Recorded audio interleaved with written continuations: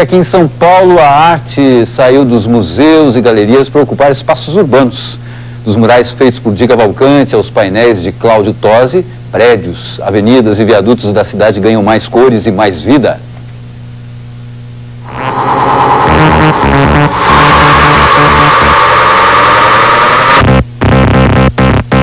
Os painéis, eles, numa cidade que é hostil, que é agressiva, que é feia, alguns deles cumprem a função de estimular, de despertar, de sensibilizar e dar uma qualidade para o ambiente.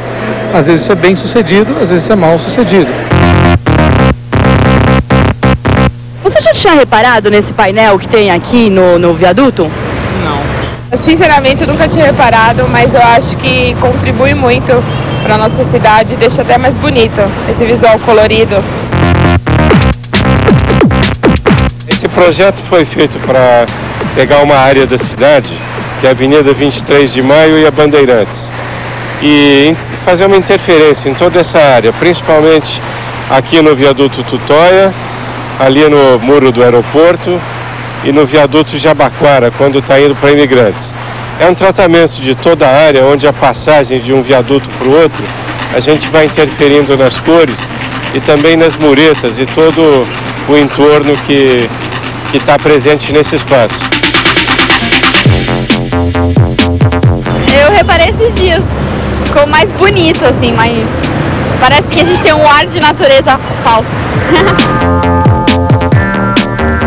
Bom, aqui são 18 tons de verdes com um pouquinho de amarelos também, porque ele tem uma relação muito grande com o espaço. Ele tem uma presença grande de verde nesse jardim aqui no entorno do viaduto e- e tem o Parque Virapuera, que é uma grande área verde da cidade. A solução dada para o painel do aeroporto são faixas amarelas, eh, porque a sinalização toda do- dos aviões é laranja e branco, então ela está bem integrada àquele espaço também.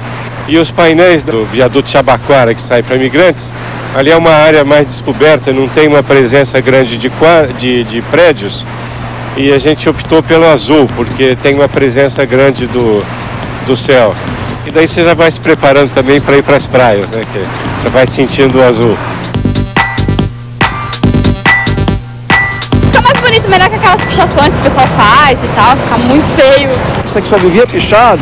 Depois que foi feito esse painel, acho que nunca mais ocorreu isso em toda a extensão da própria avenida.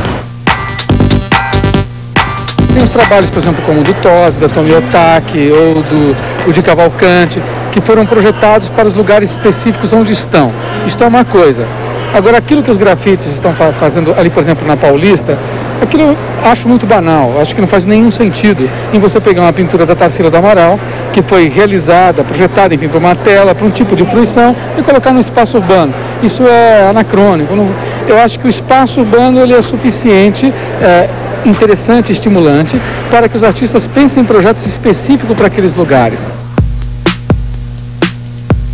Eu acho que embeleza a cidade, que todo esse tratamento visual que é dado, todas essas soluções que foram dadas, elas vêm contribuir para uma beleza maior para o espaço urbano.